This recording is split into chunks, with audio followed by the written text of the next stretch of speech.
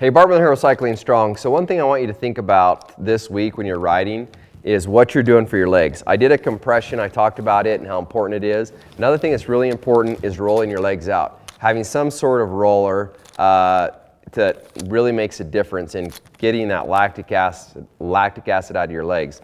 So if you haven't got a roller or something, get a rolling pin, do something, but really roll those sore spots out and get that blood moving in those legs makes a big difference. So if you're not using compression, I told you the things I like, um, check those out, but go get you a roller and get your legs rolled out. It's very, very important. Have somebody do it for you as you lay down or do it yourself. So anyway, uh, keep out there, keep cycling strong, have lots of fun. We'll be talking to you soon.